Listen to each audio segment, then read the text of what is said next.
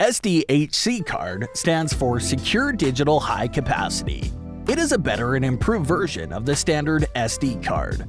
People choose these cards to entrust with the most important files, valuable photos, favorite videos, etc. But one day, choosing SDHC card you inserted into your computer without realizing the disaster that was about to occur. Wait, why? Why me? Actually, losing data from an SDHC card is quite common. There's a lot that can cause data loss in SDHC cards. Let's check out. Unsafe removal from computers. The most common SDHC cards are unsafe removal from computers and other devices. If the card is working, never take it out immediately, even if you have finished what you were doing. Eject it first from the computer and then take it out. Use of the card on multiple devices.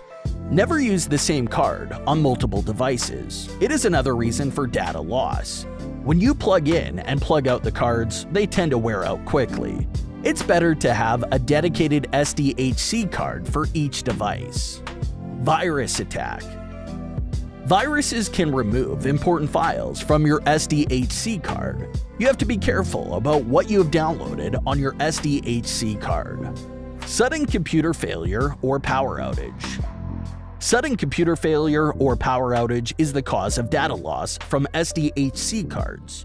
You can ensure a backup supply if you don't want your computer to be turned off suddenly. But don't let these discourage you. Though your card lost all the data, they can be recovered easily. Now I'll introduce you how we can do that. iMyFone D-Back Hard Drive Recovery Expert is a fantastic data recovery tool to recover your lost data from an SDHC card without any hassle. Let's see how it works. Step 1. Free download the software on your computer and install it. You only need a few seconds to download and install the software. Step 2. Insert your SDHC card on your PC. Open D-Back Hard Drive Recovery Expert, and you will see the SDHC card on the main screen. Click on it. Step 3. D-Back Hard Drive Recovery will scan the SDHC card. It will do a quick scan first, and then a deep scan. You can also stop it whenever you have already found your files. Step 4. After scanning, you can see the file types on the left. Click on any file type and then select the files you need. You will see all your files appropriately organized.